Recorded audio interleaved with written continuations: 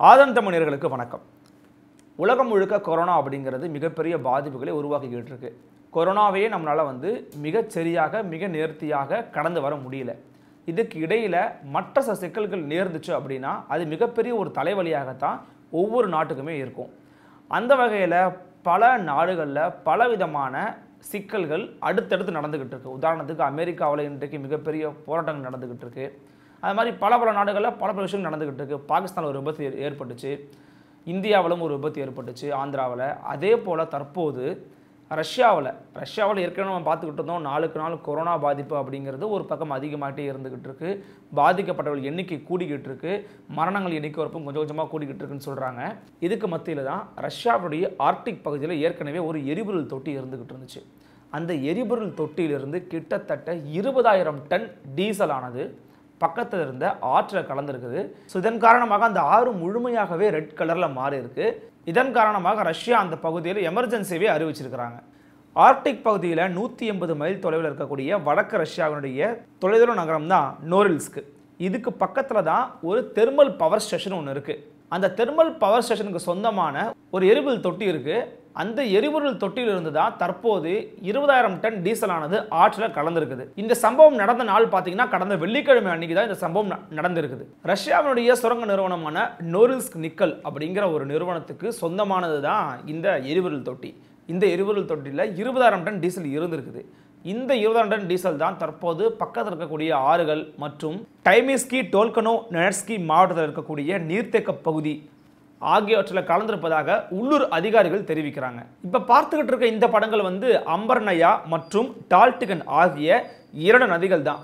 இந்த இரு நதிகளும் ரொம்ப தெளிவாக இருந்துச்சு. ஆனால் தற்போது இந்த டீசல் கலந்ததன் காரணமாக முழுமையாக ரத்த நிறத்தில் மாறி இருக்கிறது இந்த விஷயங்களை வந்து படம் பிடிச்சு காட்டியிருக்கு யாண்டெக்ஸ் மேப்ஸ் அதாவது கூகுள் மேப்ஸுக்கு இணையானது ரஷ்யாவில் இருக்கக்கூடிய யாண்டெக்ஸ் மேப்ஸ் அதில் வந்து செயற்கைக்கோள் படங்கள் மூலமாக எடுக்கப்பட்ட இந்த படங்களை காட்டியிருக்கிறாங்க.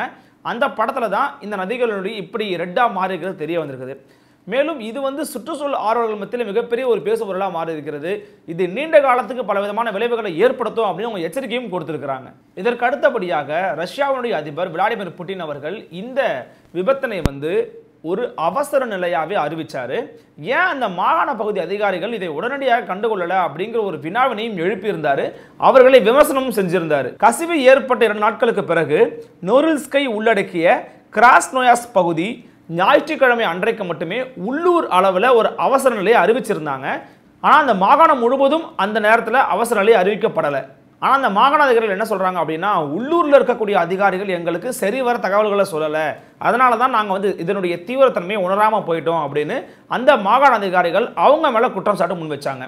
இதை தொடர்ந்து இப்படி போய்கிட்டே இருக்கும்போது நோரில்ஸ்கை உள்ளடக்கிய பிரம்மாண்டமான ஒரு சைபீரிய பிரதேசம் தான் கிராஸ் நோயாஸ்க். அந்த பிராந்தியத்தினுடைய ஆளுநர் தான் அலெக்சாண்டர் உஸ்.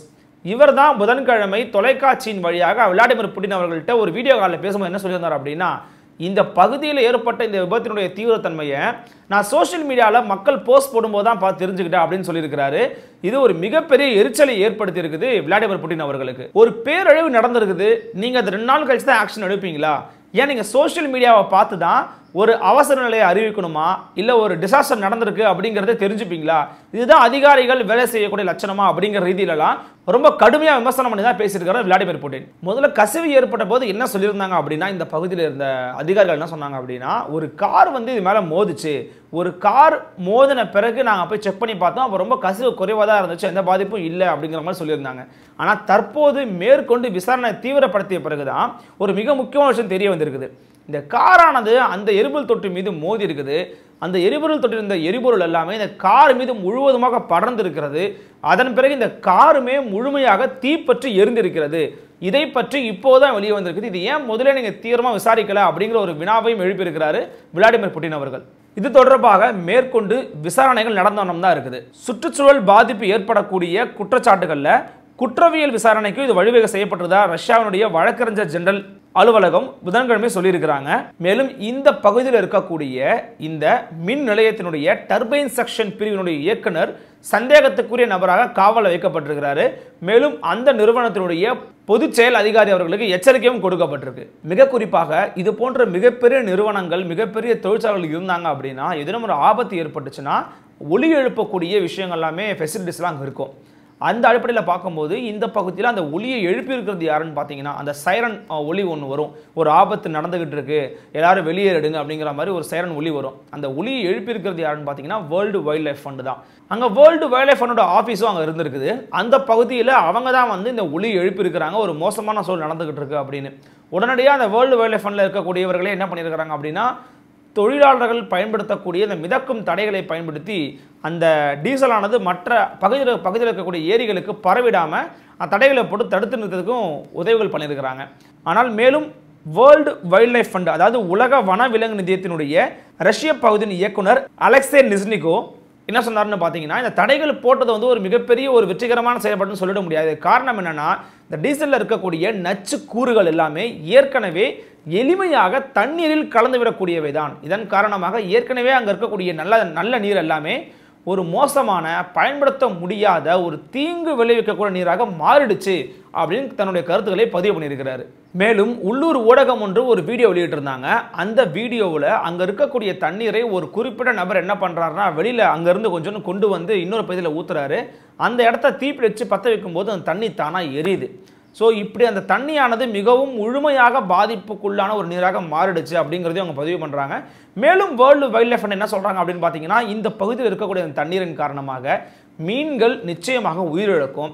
மேலும் இந்த தண்ணீரை பயன்படுத்தக்கூடிய விலங்குகள் பறவைகள் ஆகியவையும் மிகப்பெரிய ஒரு அச்சுறுத்தலுக்கு உள்ளாகும்.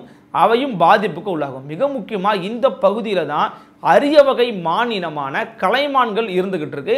இந்த கலைமான்கள் மிகப்பெரிய ஒரு பாதிப்புக்கு உள்ளாக போகுது அப்படிங்கிற ஒரு எச்சரிக்கையும் கொடுத்துருக்குறாங்க உலக வனவிலங்கு நிதியம். ரஷ்யாவினுடைய அவசரகால சேவை அமைச்சர் எவ்ஜனி ஜினிச்சியேவ் புதன்கிழமை விளாடிமிர் புட்டின் அவர்கள்ட்ட பேசியிருந்தாங்க. அப்போ என்ன சொல்லியிருந்தார் அப்படின்னா ஏற்கனவே இந்த பகுதியிலிருந்து கிட்டத்தட்ட நூறு டன்னிற்கும் மேலான கழிவுகளை நாங்கள் நீக்கிட்டோம். மேற்கொண்டு கழிவுகளை நீக்கணும். ஆனால் இதுக்கு நிச்சயமாக கணிசமான அதாவது அதிகமான ஆட்களும் அதிகமான வேலையும் நிச்சயமாக இந்த பகுதியில் இருக்கும் அப்படிங்கிற மாதிரி சொல்லியிருக்கிறாரு.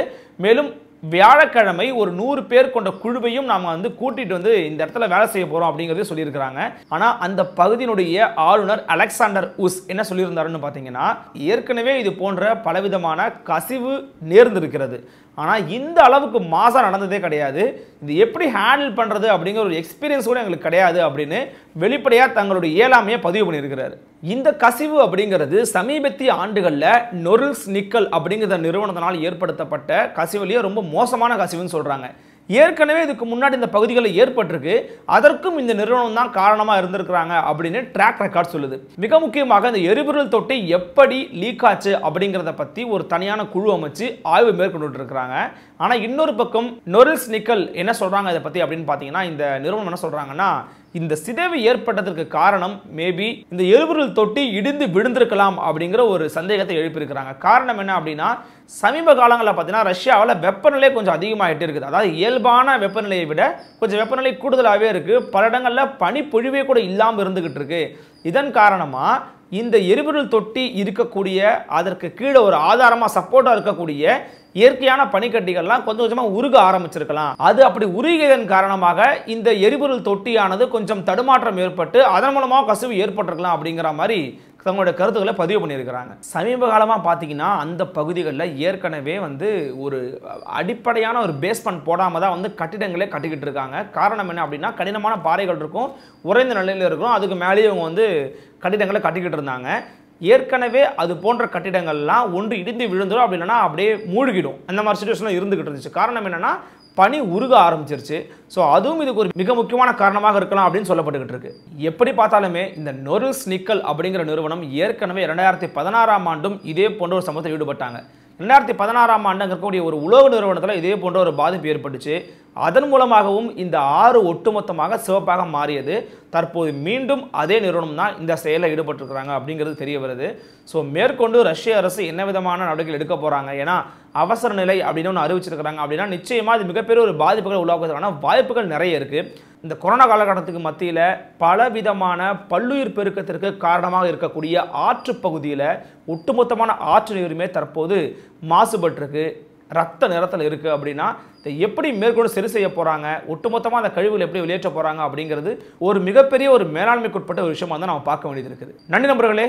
மற்றொரு தலைப்பில் மற்றொரு செய்தியை சந்திக்கிறேன். அதுவரை உங்களிடமிருந்து விடைபெறுவது உங்கள் அருள்மொழிவர்மன். இணைந்திருங்கள் இது உங்கள் ஆதன் தமிழ்.